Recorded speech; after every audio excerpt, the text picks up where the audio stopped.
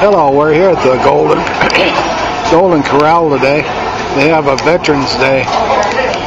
Well, this is Veterans uh, for the Golden Corral, and uh,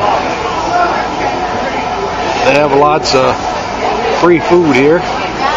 And uh, so, with that, I guess we're out.